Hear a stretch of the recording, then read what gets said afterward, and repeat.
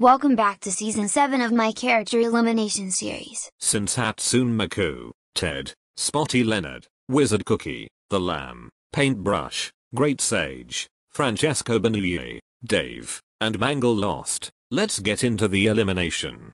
Okay contestants, I'm Super Silver the DBZ fan 2021, and I'll be your last prize hander for today's episode. Hatsune Miku, Ted, Spotty Leonard, Lamb, and Mangle got 0 votes, Wizard Cookie, Paintbrush, Great Sage, and Francesco got 1 vote, and Dave wins the prize at 6 votes. He gets a half advantage the next time he faces elimination.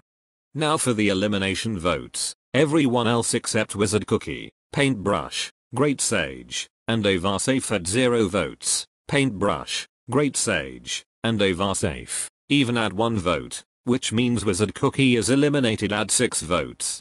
Oh well, I may not be able to win this for Ginger Brave, Strawberry, Chili Pepper, and Custard the Third, and many Cookie Run fans will be sad to see this, oh well, at least I made it to ninth place back in Season 5, good luck to everyone making it to the final 10, and I'll be seeing you at the finale.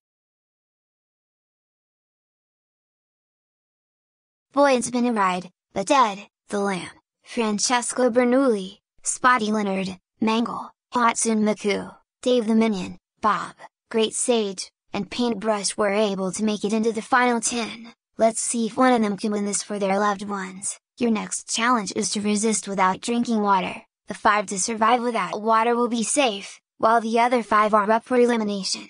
Go!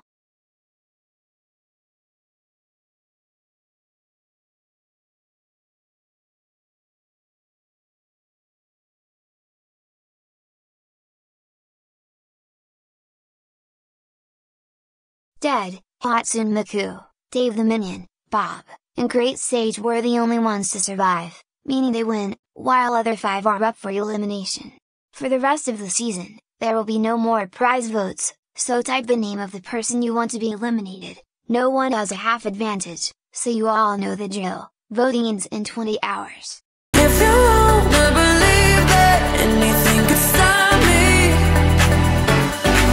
Don't show up.